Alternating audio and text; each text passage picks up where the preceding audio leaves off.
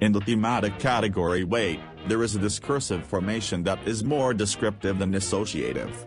In most cases, the statements that emphasize the body mass of the corpulent characters portrayed this body characteristic as negative, with the exception of some situations of corporal struggle, in which they were positive.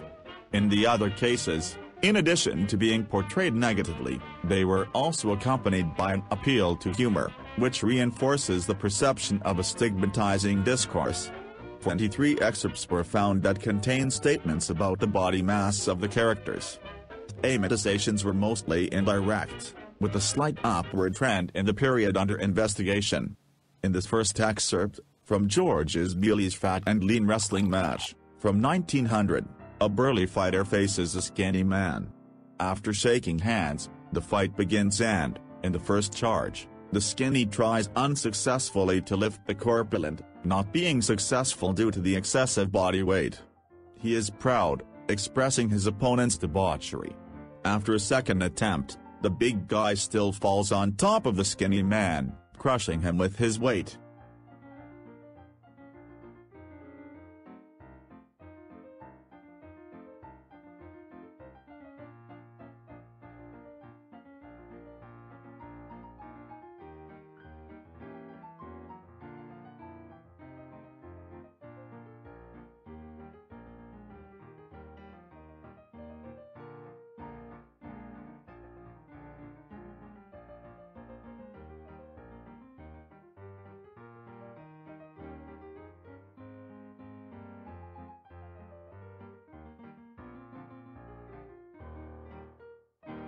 In Le Conseil du Peuple Tour à la Foire, from 1908, by Méliès, the same basic statements are explored again, this time, a man fights against a woman.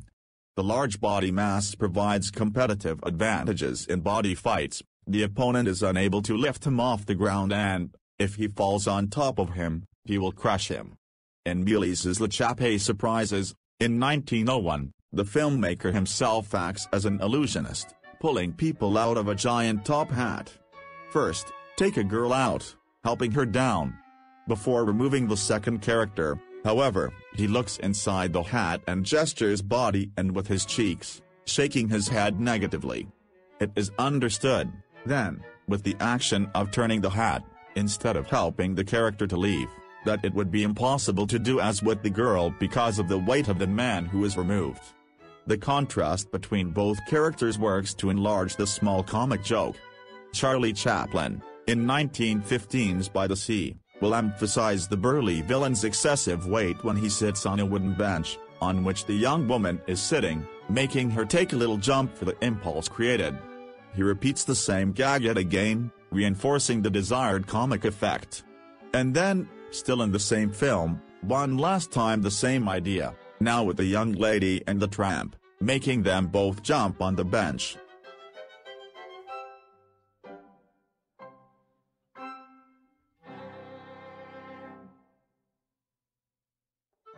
In Behind the Screen, in 1916, Chaplin explores a slightly different comic situation around body weight. The burly villain is supported by three men, who try in vain to pull him out of a trapdoor.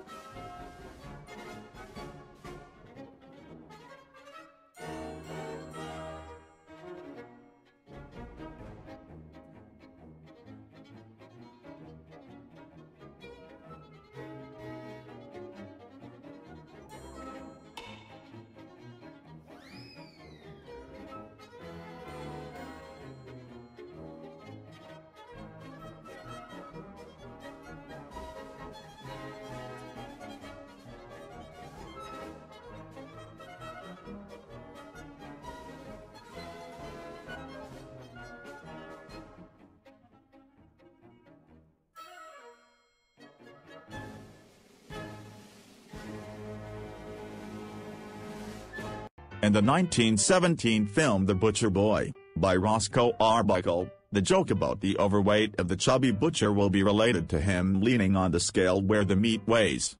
The title makes a small pun with the certain expression used by customers. In another Roscoe Arbuckle film, The Cook, from 1918, the body characteristic will be the target of a joke when taking a small carriage behind, due to the weight of the chubby, leaving the goat that pulled it comically.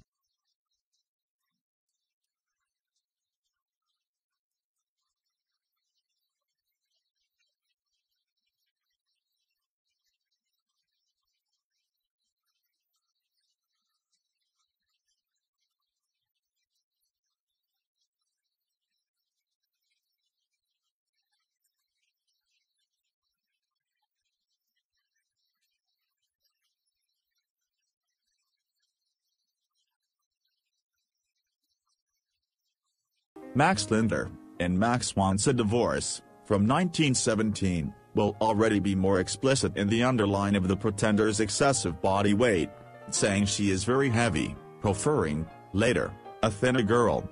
Here, it is stated that excessive weight makes women aesthetically undesirable,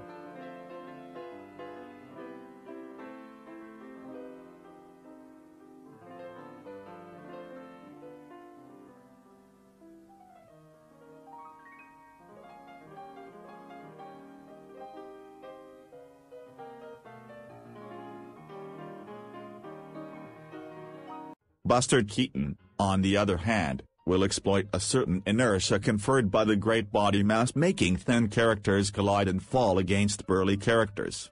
He will use this idea in the 1921 films The Goat and then, in Paleface, from 1922.